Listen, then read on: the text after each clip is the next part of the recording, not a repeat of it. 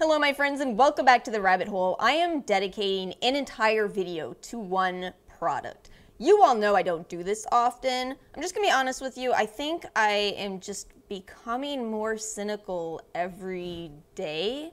I look at new releases in the Sephora section, I look at Trend Moods page, and I just feel like wow, a bunch of new beige colors on the market. There's just so many new releases, and I feel like a lot of them are just recycled concepts or colors that there's so few things that really make me think, yes, this is what I want to take time making a video about. But today, I'm actually doing that with, of all products in the entire world, a lip primer.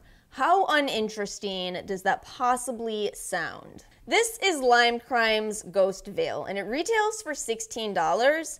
If you guys bought in that sale, we all got this as a free bonus, which really is a smart way to get your product out there if you ask me. Uh, but it, it was something that, you know, just kind of came in my order. I didn't really think that much of it. I tried it on under a liquid lipstick because here's the thing this, this is a liquid primer. I kind of just figured, well, it's probably meant to go under liquid lipsticks. And it seemed a little different from the very first time that I applied it, but I didn't really think that much of it initially. So on Monday, I was just kind of thinking about this and I was like, I wonder why Lime Crime made a primer. Like, what do we really need in priming our lips for liquid lipstick if it's not, you know, a gloss, which is what I thought it would be? So after reading the description, I kind of had a better idea, but I still didn't quite get it. They, they said on the website that it is for use under cream or satin or matte lipsticks. And I was like, well, wait a minute, does this mean regular lipsticks? So yes, and when you go ahead and apply this and then follow with the bullet lipstick, it's almost as though this changes the texture of your bullet lipstick so that it actually wears like a liquid lipstick. Now, we're curious minds on this channel, so I immediately started looking over the ingredients to try to figure out what they did, and it made a lot more sense in my head. Basically, this is a very silicone rich formula, but it also contains clays. When you put clays into a product, it kind of dries out the finish, but when you put silicones in, it makes it smooth. So the application of this really feels a lot like applying a blurring primer. So in this video, I will demo how to use this and we'll test it out with three different finishes. I'm also gonna start off by telling you, I've been wearing this for a couple of days, of course, with matte lipsticks. The one that I am currently wearing is Maybelline's 565 Almond Rose Matte Lipstick. You see? You, you, you, see what we're about to get into in this video? Yesterday I wore MAC's Russian Red, which of course is also a matte lipstick. I wore this into the pool, I wore this to eat pizza, and really the only thing that started to compromise it was the pizza, which makes sense if this is changing the texture into a liquid lipstick because liquid lipsticks will not budge when you swim, but they will budge in contact with oil. So I've had incredible results with matte lipsticks, but I kind of feel like those are a little easy let's try this with some more difficult lipsticks. So let's start this experiment with the Bobbi Brown Crushed Lip Color in the shade Grenadine. I probably applied it really messily because I'm gonna wipe it off. I'm sorry, I don't have a ton of patience. This is a really, really gorgeous formula. It's definitely very balm-like in texture, and even though it's very comfortable on the lips, it does transfer. So let's do a let's do a control. I do not have the lip primer on yet. So control test here. All right, so here we go with the lip primer. By the way, the primer has a light scent to it. It's kind of it's kind of floral. It doesn't smell like most lime crime items. So when you first apply it, it does feel like you've applied a lip gloss, but let it sit for a couple of minutes. Maybe I'll time it. All right, so so what happened is 45 seconds in, it started to feel a little tacky, and now we are at a minute and a half, and it's almost got that same tendency to stick that uh, L'Oreal Infallible liquid lipsticks or Maybelline liquid lipsticks have but not in an uncomfortable way. I think it's locking in moisture at this point. So now we're at four minutes. I've applied a lip liner. This one is Lipstick Queen's rust because Lime Crime does say to use a liner with these, and I agree. Let's apply this lipstick.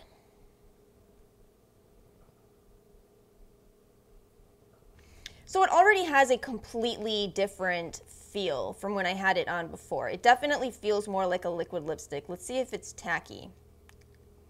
Not really. One thing I love tremendously about using this primer is I took it definitely more on the inside of my lip and it's not transferring to my teeth. Anyone else absolutely tired of walking around with lipstick on their teeth? Is that just me? I don't think it's just me. So let's do a kiss test. I'm going to, let's see, it's been seven minutes. I'm going to kiss this hand. Look at that difference. Look at that difference. We just hit 10 minutes, and one thing I do want to comment on is that the wear of these gets better over time. I noticed this from my extended wear test yesterday, but I think it's been enough time. Let's do a side by side on this hand. Barely any transfer, barely any. I'm calling this one an absolute success. I love too that it kind of smooths my lips out even more. Although the texture of the crushed lip color is gorgeous, it really doesn't have a lot of lip lines. I still feel like I see even less with using this primer. Oh my gosh, I love this primer so much. Let's try something a little different. This is the Givenchy Le Rouge Liquide. This one was sent to me, and it is a really nice lipstick. It is a kind of liquid lipstick. It's a bit of a hybrid. You twist this up and it pumps out onto this surface and then you apply it that way. Great formula. It does have hyaluronic acid, so it's actually really comfortable on the lips. I did already apply some liner with this. This is the Balms Pickup Liner in boyfriend material. And this is our control group, so let's do the kiss test. This one is definitely a more transfer resistant formula overall. All right, let's do this initial kiss test.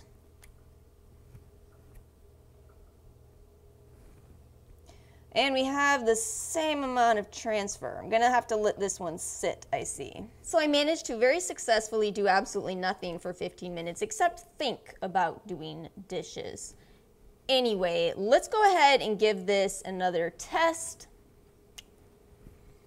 Okay, so we are definitely still getting some transfer with this product, the Givenchy 309 Le Rouge Liquide. Now I'm not tremendously surprised because last night I was trying some liquid lipsticks and glosses and it really doesn't work with these. So surprisingly the Ofra long lasting liquid lipstick, it didn't work with that. It also did not work with the Hi-Fi Shine Urban Decay glosses. In fact, it was kind of terrible with the gloss because when I went to do the kiss test, it was like all of the gloss transferred right off. I want to test one final category, and that is metallic. So I've got 970 Molten Bronze metallic lipstick from Maybelline. I've already got this applied without the base, without the primer, so let's do the kiss test. Woo! Lip lines and everything. My lips are already starting to get sore from all these swatches. Can we get an F in the comments? One like, one prayer for my lips. So the primer is applied. We're going in with this metallic lipstick. Okay, so at this point I have the lipstick applied over the primer and I have a couple of things to say before I do the kiss test. One is that I do see less of the lines that you get, and you get a lot of lines with the metallic lipstick, so that's a plus. But I can also really feel the lipstick sliding around on top of the primer, which is very surprising. That hasn't happened with any of the other combinations at all. So let's do the kiss test. I don't think it's going to go that well, to be honest.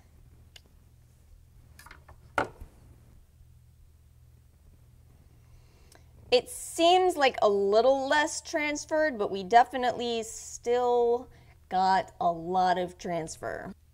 Uh-oh, and it got on my tooth too. Mmm, no. This one seems to not be working. I'll go ahead and let this sit for a while, but I don't know what's gonna happen. All right, so it's been 20 minutes. Let's go ahead and do another test. Oh, wow. I actually didn't expect that. It came off in like a little clumpiness though. But yeah, it's a lot more transfer resistant.